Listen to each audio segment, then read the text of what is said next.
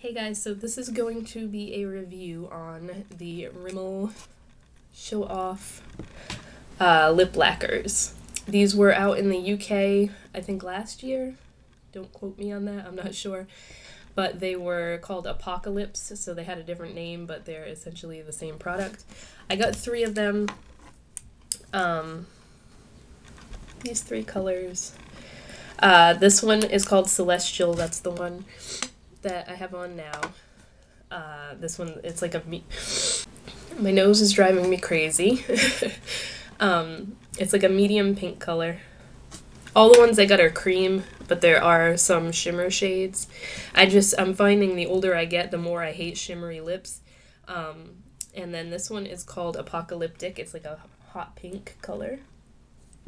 And where's, uh, this one is Nude Eclipse. Um, I haven't bought a nude lip color in a while, so I wanted to try that one out. Um, these are supposed to be in Walgreens, but I can't find them anywhere. Um, I think CVS's are carrying them too, pretty much anywhere that sells Rimmel, but I got them off drugstore.com for five forty nine. That was the cheapest I could find them online. So they have a really cool cap. It's like looks like a gem. And they have a doe foot applicator. Now, um, the big thing with these that I've been hearing about is everybody saying they have like a, a plastic smell or a chemical smell. That's totally not what I get from it. As soon as I smelled this, it made me think of the, you know, the Freeman's cucumber masks that come in the tube. It smells like cucumber for some reason. Um, it actually, the uh, Milani Nude Cream lipstick that I have, the color statement lipstick, that's like really reflecting right now. It smells just like this. It has like a cucumber smell. Um, but yeah, if you're if you smelled the Freeman's uh, cucumber face mask, the kind that peels off, that's exactly what these smell like to me. Um, so that might not be for everybody, but honestly, the smell doesn't last once it's on your lips. So that is a plus. Um, I'm going to show you swatches of them real quick on my hand. This is what the applicator looks like. It's just like an elongated doe foot. The thing I love most about these are they are so pigmented. Like one swipe around your lips and that is all you need. That's the Nude Eclipse. It's just, it's, they're crazy pigmented.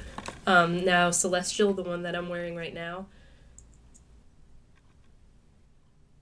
is what this one looks like.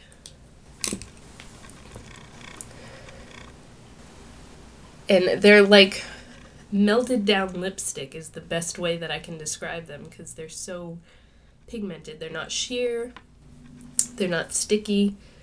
Um, and then this is the Apocalypse color, which is the brightest one that I have. So pretty. And I wasn't sure how much I was going to like them just because everybody kept saying, oh, they smell horrible. Um, I'm one that likes like vanilla scented lip stuff, like MAC lipsticks and everything. Um, very traditional lipstick scent, but the, these really don't bother me all that much. Like I said, as soon as they're on your lips, you can't really, you don't get that smell from it anymore. I'm sorry I sound so congested. I just wanted to film this today because Aiden's actually napping. Um, so this is the Celestial color. It's been on my lips for a couple hours now. Um, they're not drying at all, which is awesome. They feel really moisturizing and they stay feeling like that for a while. Um, super pigmented. They don't fade weird. Um, They've got a nice shine to them. Well, the shine is kind of wearing off now because it's been on for so long, but I really have nothing bad to say about these, except I wish that they didn't have that weird cucumber smell, but it doesn't last, and that is awesome because if it tasted like that, I would be like, uh, although I do have a cold, so. Um, um, these are a huge hit for me. Absolutely love them. I will eventually have my full review up on my blog. Um, they're they come in uh,